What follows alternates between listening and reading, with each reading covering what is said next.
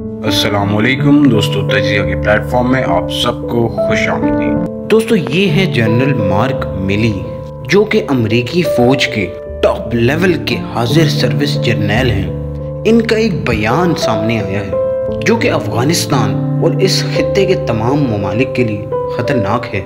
इनके बयान के मुताबिक, तालिबान पर और अफ़गानिस्तान पर अगले एक से दो सालों में दोबारा हमले किए जाएँगे। यानी कि ये खुल्लम खुल्ला अफ़गानिस्तान की सालमियत के खिलाफ बयान दे दिया गया है। लेकिन ये जान पूछ कर और सोच समझ कर बयान दिया गया है। असल में अमेरिका की नाकामी अफ़गानिस्तान में सबके सामने आ गई। चाहे वो अमेरिकी सियासतदान हो, सेनेटर हो या जर्नैल हो, सब इस नाकामी में बराबर के शरीक हैं।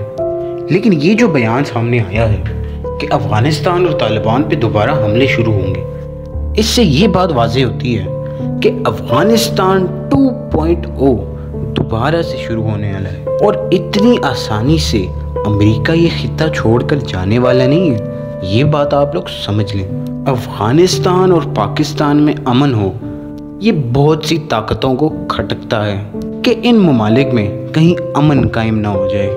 और यही वजह है कि इस मौके पर यह बयान दिलवाया गया है और ये भी कहा गया है कि अफ़गानिस्तान में ड्रोन हमले बिल्कुल बंद नहीं होंगे, बल्कि हम किसी से भी इजाज़त लिए बगैर ड्रोन हमले जारी रखेंगे।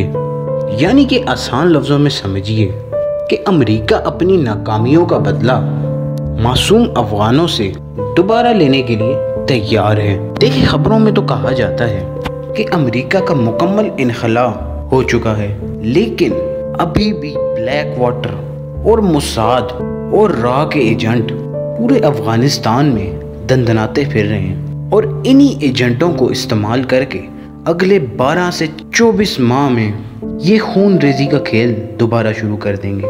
देखिए, मुमकिन तौर पर ये अफ़गानिस्तान और ईरान के बॉर्डर और ख़ास तौर पर पाकिस्तान और अफ़गानिस्तान के बॉर्डर पर ज़रूर शरपसंदों को छोड़ेंगे और अलकायदा और दाइश फिर से अफ़गानिस्तान में हमले शुरू करेंगे। उल्टा इल्ज़ाम तालिबान पे डालेंगे कि ये देखें कि तालिबान अफ़गानिस्तान में खून रेजी कर रहे हैं और तालिबान अफ़गानिस्तान का अमन ख़राब कर रहे हैं। क्योंकि इतनी आसानी से अमेरिका ने अफ़गानिस्तान में तालिबान की हुकूमत को तस्लीम नहीं करना। दोस्तों, तजिया के चैनल को सब्सक्राइब कीजिए, वीडियो को लाइक कीजिए और कमेंट सेक्शन में अपनी कीमती राय से ज़रूर आगाह कीजिए।